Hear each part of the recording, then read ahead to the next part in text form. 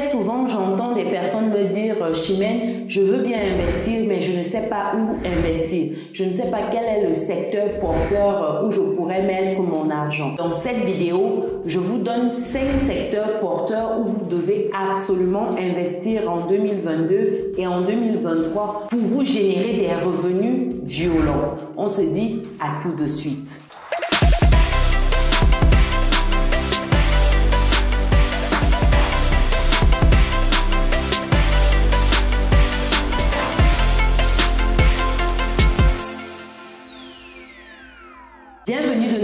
Business et Réussite, la chaîne qui vous permet de muscler votre mindset et vos finances. Si c'est quelque chose qui vous parle, alors rejoignez dès à présent la communauté des personnes résilientes et pensez à lâcher votre pouce bleu en l'air et à partager massivement cette vidéo. Si tu me découvres pour la première fois, je suis Chimène Nana, je suis entrepreneur, investisseur en France et en Afrique depuis quelques années et ma passion au quotidien, c'est de te voir atteindre ton indépendance financière. C'est dans ce but que je partage avec toi mon petit livret qui te donne 10 idées business que tu peux lancer aujourd'hui avec ou sans capital de départ, que tu sois en Occident ou en Afrique. Le livret est disponible dans le descriptif de cette vidéo. Alors, où investir son argent aujourd'hui? Dans cette vidéo, comme je t'ai dit en introduction, je vais partager avec toi 5 secteurs porteurs où tu dois absolument investir. Le dernier secteur est juste wow, c'est the place to be. Donc reste jusqu'à la fin de cette vidéo pour ne rien louper du tout. Donc premier secteur où tu dois absolument investir en 2022 et en 2023, c'est l'immobilier. L'immobilier, c'est the place to be. J'ai déjà parlé d'immobilier sur cette chaîne euh, à toutes les sauces. Mais je vais davantage creuser dans cette vidéo parce que vous devez absolument investir dans l'immobilier car c'est un pilier d'enrichissement Immobilier, ça vous permet d'aller très vite. En termes de stratégie immobilière, ici, il y a plusieurs stratégies. Vous pouvez commencer par de l'achat-revente, c'est-à-dire vous prenez un bien, vous rénovez et vous revendez par la suite. Vous encaissez la plus-value, vous lâchez une partie euh, aux impôts et vous poursuivez votre route. Tout le monde est content. Donc, vous pouvez faire de l'achat-revente. Vous pouvez faire également l'immobilier en mode cash flow, c'est-à-dire vous avez des revenus réguliers qui tombent tous les mois. Donc euh, ici, en termes de stratégie cash flow, il faut savoir qu'il y a d'autres sous-stratégies. Donc, euh, c'est quoi les sous-stratégies C'est par exemple d'aller sur le cash flow longue durée, c'est-à-dire que vous allez sur l'immobilier en mode location longue durée. Location longue durée ici, c'est par exemple tout ce qui est euh, contrat classique, ça peut être euh, de la location en nu, ça peut être du meublé sur une année, donc c'est tout ce qui est longue durée. Vous avez également tout ce qui est colocation. La colocation, c'est un moyen par excellence de multiplier ses revenus immobiliers sur un même bien. Donc, euh, prenez un exemple. Vous avez un appartement de deux chambres, cuisine, salon.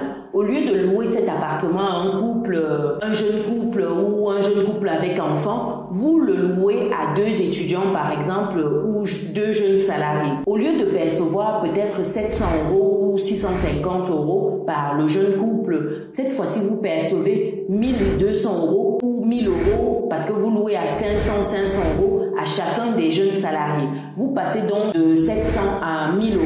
Ça peut être à 1200 euros si vous avez loué à 600, 600.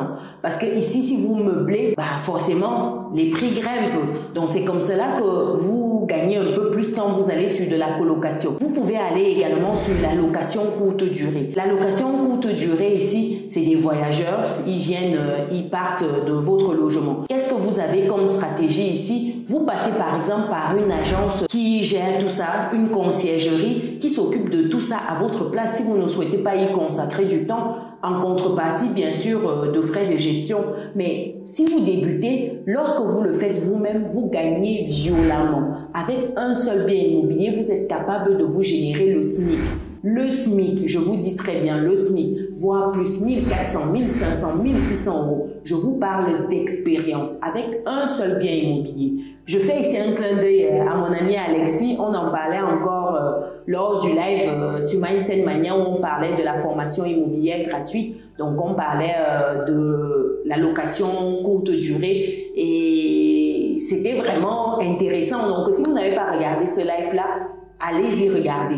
C'est une pépite. Vraiment, on a partagé plein de tips euh, sur l'immobilier. C'est juste incroyable tout ce qu'on a comme levier à notre disposition grâce à l'immobilier.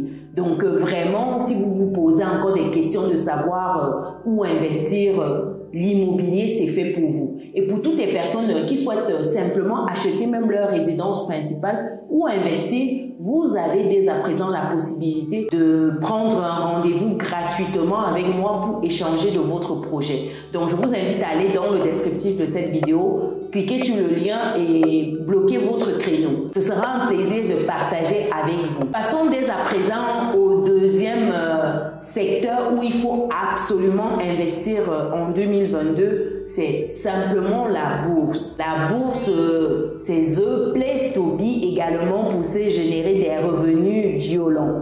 Quand on sait bien s'en servir, bien sûr. Donc la bourse ici, c'est le marché où se retrouve l'offre et la demande, où les entreprises, les États, les organismes vont se faire financer, tout simplement. Rien de plus basique que ça. On ne va pas complexifier euh, les, propos ici. Vous pouvez investir en bourse via des supports euh, comme le CT, compte titre, PEA, plan d'épargne en action. Ici, il faut observer certains principes, j'ai envie de dire. Observer scrupuleusement certains principes. Le premier ici, c'est de choisir une bonne enveloppe fiscale pour vous lancer. Deuxième principe ici, c'est de diversifier vos placements. Oui, c'est très important. Il faut prendre la peine de diversifier. Et diversifier ici, ça peut être simplement prendre deux, trois, quatre actions. Ne pas se limiter sur une seule action.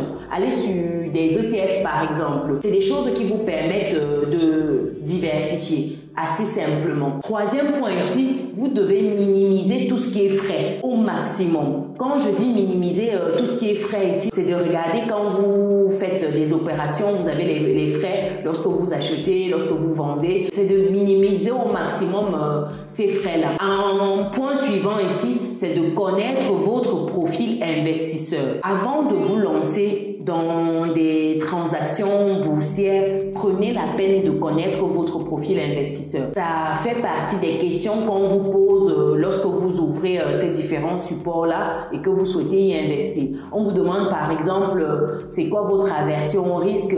S'il y a un problème sur les marchés, que les cours chutent violemment, qu'est-ce que vous faites? Est-ce que vous vendez tout de suite? Est-ce que vous attendez Bref, toutes ces questions-là sont dans le but en fait de déterminer votre profil investisseur. C'est pour cela qu'il est important de répondre euh, sincèrement à, cela. Il ne faut pas penser qu'on veut juste vous embêter lorsqu'on vous pose des questions euh, relatives à ce profil-là. Donc prenez vraiment le temps euh, de bien répondre. Un point suivant ici, il faut penser long terme. Lorsqu'on se lance en bourse, ça ne sert à rien d'être sur du court termiste c'est le meilleur moyen de se casser la figure.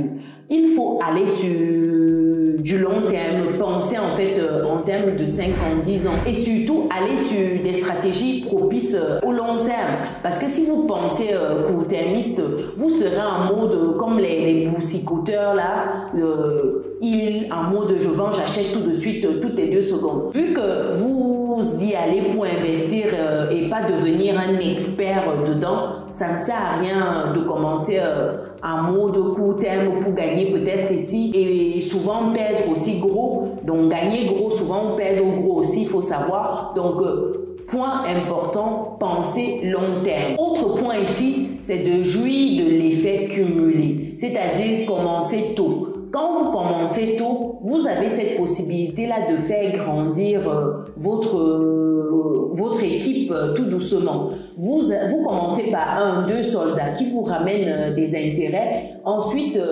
les intérêts ramènent d'autres intérêts. Au fur et à mesure, votre équipe grossit. C'est comme cela que vous passez d'un soldat à 10 soldats, à 15, 20 soldats qui travaillent pour vous. Donc c'est important ici de commencer tôt afin d'avoir ces soldats-là tôt et de les mettre à votre service euh, très tôt pour jouir de cet effet cumulé-là. En point suivant ici, il faut investir progressivement. Très important investissez progressivement. Ça veut dire que vous ne devez pas prendre, par exemple, 10 000 euros et déposer d'un coup sur une action. Non. Vos 10 000 euros, vous déposez progressivement. Ça veut dire que vous vous dites, tous les mois, par exemple, je vais mettre 500 ou 1000 euros. Et ça vous permet de lisser sur une période et éviter ainsi euh, de, de, vous prendre les hausses et les baisses euh, du marché. Ça vous lisse euh, sur la durée. Donc ici, vous devez retenir l'investissement progressif. Il faut en dernier point ici maîtriser vos émotions. la bourse, c'est le meilleur moyen d'avoir l'AVC si on ne sait pas maîtriser ses émotions. Parce que ça bouge, c'est des fluctuations, ça veut dire ça monte, ça descend, ça monte, ça descend. Donc euh, vous pouvez regarder votre action le matin peut-être euh, à l'ouverture du marché par exemple, vous étiez à 80 euros. À midi, vous vous retrouvez l'action vaut peut-être 65 euros. Et quand vous regardez euh, ce que vous avez perdu, enfin, quand vous faites le calcul, vous vous rendez compte, 65, euh, 80, ça fait à peu près 15 euros fois le nombre d'actions que vous avez. Ça peut faire mal. Vous pouvez être euh, sur un coup de tête à vous dire que oui, je vais changer de position, je vais tout vendre et me sécuriser par exemple. Non, c'est pas un bon moyen. La bourse, comme je disais tantôt, c'est des fluctuations et il faut aller sur du long terme. Quand vous êtes sur une stratégie long terme, que ça monte de 10, 15 euros ou que ça descend de, de 10, 15 euros, ça ne vous fait pas peur. Donc c'est pour cela qu'il faut observer ces points-là que je viens de lister. Et en bonus ici, il faut prendre le temps de vous former. Très important. Vous devez vous former avant de vous lancer sur les marchés boursiers. Sinon, ça peut être la cata. Parce que vous pouvez tout perdre, vraiment tout perdre. Très important. Donc voilà le deuxième secteur. Le secteur 3 ici, c'est pas trop un secteur, c'est plus euh, quelque chose qu'on peut faire si on est salarié. C'est simplement user des dispositifs d'entreprise, comme par exemple tout ce qui est PEE, e, plan d'épargne entreprise, PER, plan d'épargne retraite, PERCO, retraite collective. Donc euh, ici, c'est d'user de tout cela. Les fonds versés sur votre PEE e peuvent être investis dans les actions de l'entreprise ou dans des parts de SICAV. Par exemple, SICAV ici, c'est Société d'investissement à capital variable ou dans les FCPE. Donc FCPE ici, c'est Fonds commun de placement entreprise. Oui, c'est ça. Donc, euh, vous pouvez avoir vos investissements qui sont dans ces fonds-là et investir sur un PEE, PERCO, tout ça. Pourquoi? Lorsqu'on est salarié. Surtout lorsqu'on a une entreprise qui donne cette possibilité-là. Parce que c'est pas toutes les entreprises euh, qui ont des PEE à disposition. Non, c'est pas tout. C'est généralement les moyennes grandes entreprises. Donc, lorsque vous avez une qui vous propose de tels dispositifs, pourquoi vous devez vous y intéresser. D'abord, lorsque vous y investissez, vous avez un abondement qui est fait. Je vous donne un exemple pour que ce soit plus parlant. En banque, par exemple, enfin pas, c'est pas dans, c'est pas les mêmes montants dans toutes les banques. Hein. C'est un exemple qui n'est pas contractuel, c'est des chiffres que je prends comme ça. Quand vous déposez par exemple sur votre PEE 1000 e euros, la banque abonde de 500, 700 euros par exemple. Donc à la fin, ce n'est plus 1000 euros qui travaillent pour vous, c'est 1700 euros par exemple. Donc euh, d'où l'intérêt de verser sur ces plans-là. Quand moi j'y étais, je versais systématiquement tout ce qui est intéressement, participation dans ces supports-là. Ça me permettait de choper tout ce qui est en fait abondement. Et au-delà de ça, en deuxième point ici, vous devez prendre le temps de planifier des versements réguliers dessus. Tous les mois, par exemple, vous vous dites, je verse 500 euros sur mon PE, 300 euros sur mon PE. Ça fait 800 euros. Bon, ça dépend encore de ce que vous gagnez. Parce que si vous gagnez euh, le SMIC, par exemple, si vous gagnez 1200 euros, vous ne pouvez pas techniquement verser 800 euros sur ces supports-là. C'est que vous allez suffoquer à la fin du mois. Donc, euh, il faut encore verser proportionnellement à ce que vous gagnez. Ici, vous pourrez me dire que oui, l'argent que j'ai versé, c'est bloqué. C'est bloqué pendant 5 ans pour le cas du PEE, j'insiste, pendant 5 ans. Ça veut dire qu'au bout de 5 ans, et ce que vous avez versé, votre abondement, c'est disponible. Vous pouvez récupérer pour lancer sur un projet ou sur ce que vous voulez. Et quand bien même vous n'aurez pas atteint ces 5 ans-là, il faut savoir qu'il y a des moyens de débloquer votre épargne avant les 5 ans, suivant certains cas particuliers. Par exemple, un des cas ici, c'est l'achat de votre résidence principale. Un autre cas ici, c'est la naissance de votre troisième enfant. Donc, euh, vous avez ces possibilités-là. Vous avez d'autres possibilités. Je ne vais pas toutes euh, les lister ici. Donc, il faut savoir que c'est possible. Il faut user de cela lorsqu'on est salarié et qu'on a l'entreprise qui nous met ça à disposition. Très important ici. En quatrième euh, secteur ou business, j'ai envie de dire plus, c'est des business en Afrique. Business comme euh, le taxi. Quand vous êtes en Occident et que vous avez un peu d'épargne, vous avez pris déjà la peine d'investir euh, en immobilier, en bourse, vous avez de l'épargne euh, dans votre PE, votre PRP. C'est bien de diversifier en allant en Afrique, par exemple, lancer des business. Encore faudrait-il ici avoir des personnes de confiance, hein, j'insiste également là-dessus. Pour le business de taxi, par exemple, il vous faut la ressource euh, humaine qui est vraiment fiable. Donc, avoir un conducteur, avoir une personne qui gère euh, le business qui récolte par exemple euh, la recette ou alors vous pouvez mettre en place euh, des dispositifs où on vous verse directement dans votre compte. Et par exemple, quelque chose que nous on a fait euh, lorsqu'on était encore du côté de la diaspora et ça permet justement d'avoir un suivi. Donc il y a des petits outils que vous pouvez mettre en place pour suivre votre investissement. Au-delà de l'aspect humain, vous devez également avoir des outils de suivi très importants. Donc avant de vous lancer vraiment, prenez le temps de quadriller sa personne de confiance outil de suivi très très important. Sinon, vous n'aurez que vos yeux pour pleurer parce que ici, les gars vous frappent et en plus, euh, quand vous êtes à distance, c'est encore euh, plus facile, j'ai envie de dire. Donc, euh, prendre la peine de mettre en place un suivi et avoir des personnes de confiance. Un secteur sain ici qui est the place to be, c'est l'e-commerce. Quand je dis e-commerce ici, j'entends tout ce qui est blog, euh, dropshipping, tout ce qui est YouTube, Amazon, euh, e-book, il y en a plein tout ce qui est e-commerce, vous devez absolument avoir euh, un créneau là-dedans en 2022 ou en 2023. Parce que c'est des revenus que vous pouvez automatiser. Au début, vous allez un peu bosser, bien sûr, euh, sur votre activité, mais après, vous pouvez facilement automatiser certaines choses. Donc, euh, vous devez absolument avoir un business en ligne. Parlant de business en ligne ici, de blog, de création de site,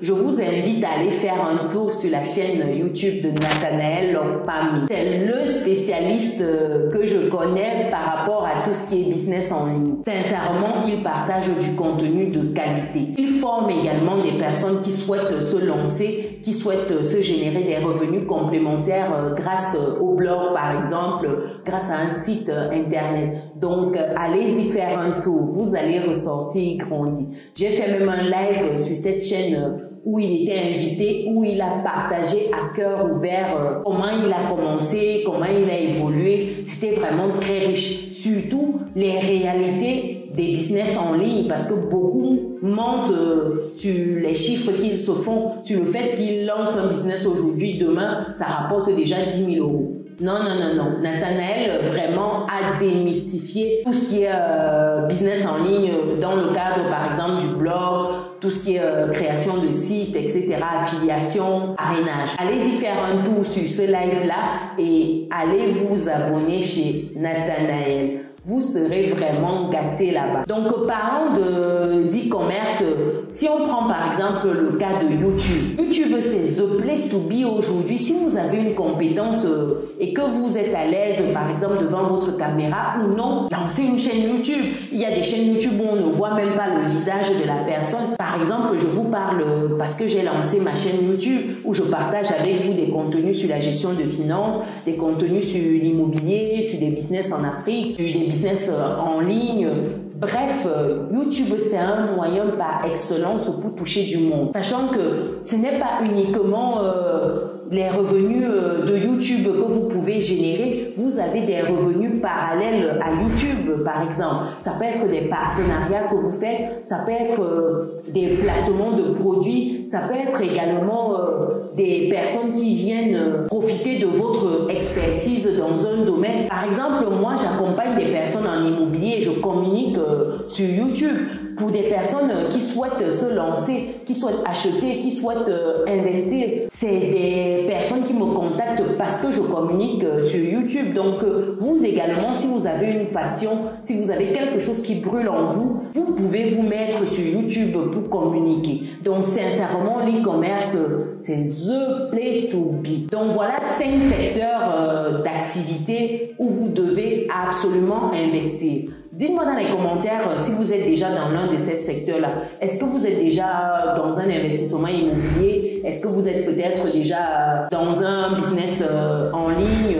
Est-ce que vous avez déjà investi peut-être en Afrique? Dites-moi dans les commentaires. Et surtout, Qu'est-ce que vous avez comme chiffre concrètement et quelle est votre stratégie? Nous allons grandir ensemble. C'est à ça que ça sert une communauté. Partagez les bonnes pratiques. J'espère que la vidéo vous a plu. Pensez à lâcher votre pouce bleu en l'air, à partager massivement. Si vous n'êtes pas encore dans la communauté des personnes résilientes, c'est le moment de cliquer sur le bouton qui s'affiche d'activer la cloche de notification pour ne rien louper des prochains contenus qualitatifs comme ceci. Si vous souhaitez euh, des idées business euh, avec de petits capitaux, je vous invite à regarder la vidéo qui s'affiche actuellement à l'écran. Nous, on se dit à très bientôt. Ciao